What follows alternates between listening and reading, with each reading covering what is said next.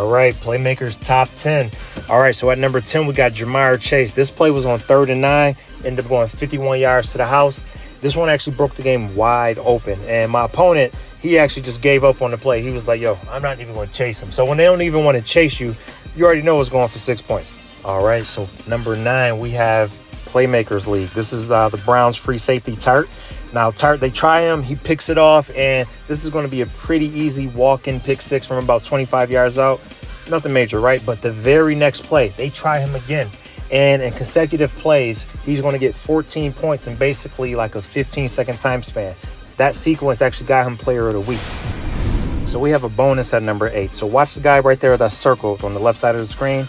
Now, this playmaker that I'm going against, he kind of got a little laugh out of me calling myself a defensive player and sometimes you actually just got to let them know. You can't just talk that shit in the chat.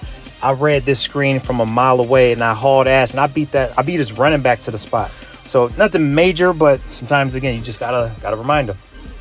Number eight, we have CeeDee Lamb from the Cowboys. And if you look at this, he just manages to tap both feet in the back of the end zone for the six points. But on a second look, that user free safety uh, is supposed to have the deep middle responsibility when he gets caught chasing those shallow routes across the middle You'll get them every time. Well, for number seven, we're going to keep it in Dallas. Now, check out Pollard right here with this little stutter step. what is he diving at? And he is off to the races, 68 yards. You're not catching that, man. But if we actually play it back, it was the little breathing stop right here where he lets up off the gas, turns a little bit, and then accelerates full speed. Nice move. All right, so at number six, it's uh, the hitman. So I end up blocking this field goal, and I'm thinking everything's going my way, and we lose connection. So as soon as we restart, here we go with Zach Wilson. And this is absolute dime. He's fading back to the right, throws it cross field to the left. Absolute dime. And just take another look at it. He has pressure right in his face, and it didn't matter. Perfect pass. So I got to give him credit.